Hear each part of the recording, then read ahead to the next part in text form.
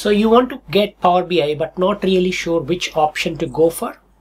In this video, I'm going to compare the three options of Power BI, Power BI Free, Power BI Pro and Power BI Premium.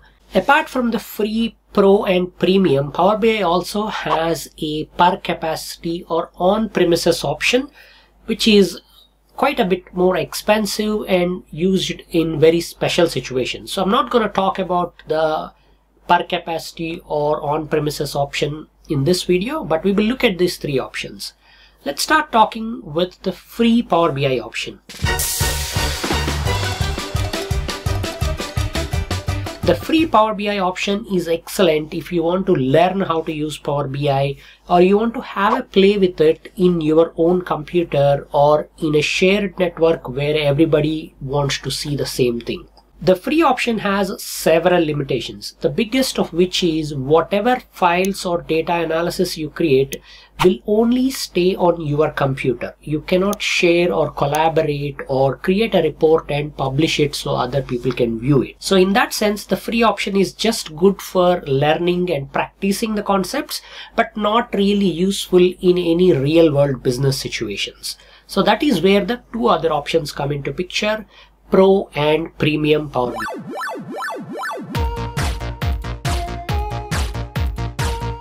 Both of these options, Pro and Premium, are currently offered as a monthly subscription service by Microsoft. How much is that?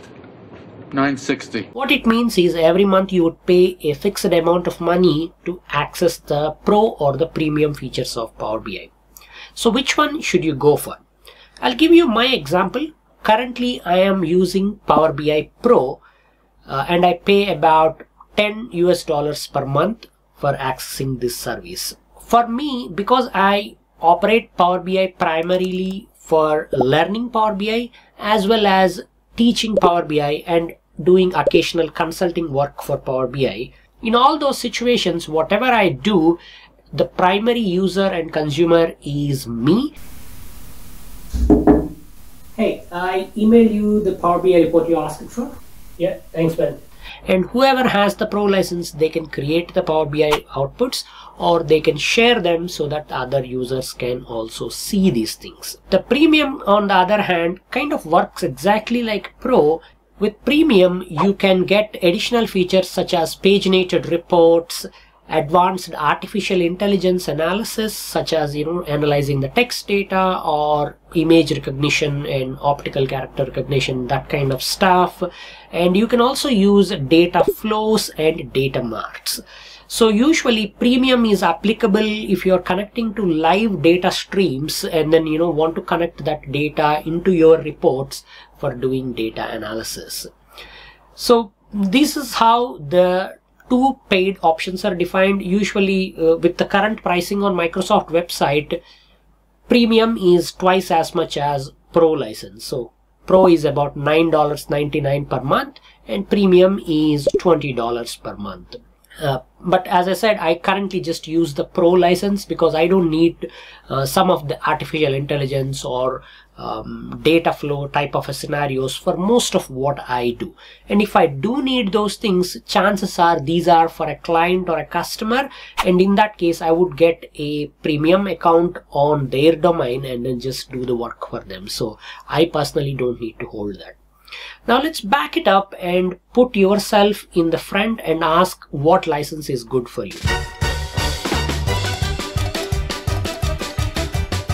If you are a student or a learner or you are just an individual in your home or workplace and just want to understand what Power BI is all about and how to get into this world, then just use the Power BI free desktop software, download it for free, install it on your computer and get started, learn the whole thing. You will be able to understand all the components of Power BI, that is how to use Power Query for bringing the data and doing ETL or data manipulation, how to build measures and calculations through Power Pivot, and how to create visuals in the Power BI.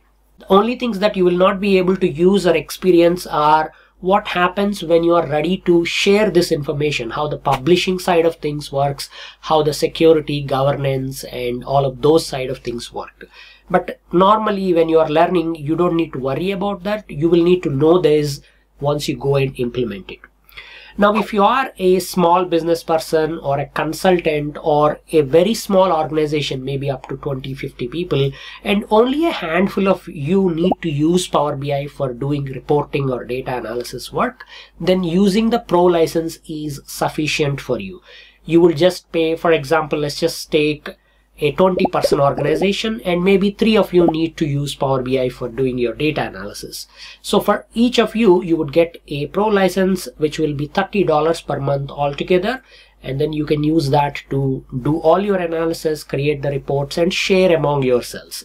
You will not be able to publish anything outside of your three because if whatever you create, you can only share it with the other two but that's probably good enough. Maybe you can give uh, get an extra license for the chief executive or whoever else need to read the reports and that should be sufficient. On the other hand if you are a large organization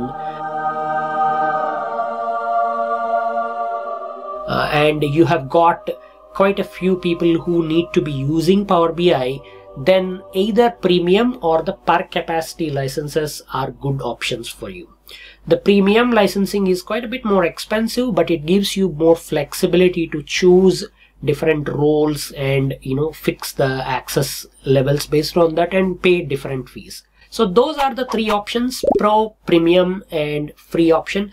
Get the free option if you're a student, get the pro option if you're a, a consultant or you're a small business, then pro is good for you. And the premium option is for you if you are in a larger organization or you need to use some of these advanced features such as the AI um, data analytics tools or the data marts, data flows, and um, you know ability to store more data because with the premium capacity you also get the ability to build larger models and have more data stored and processed and have multiple re refreshes happening on your data on daily basis and all of that. So those are the things. I'll put a link to the official microsoft website in the video description. Feel free to check that out. That has the feature comparison as well.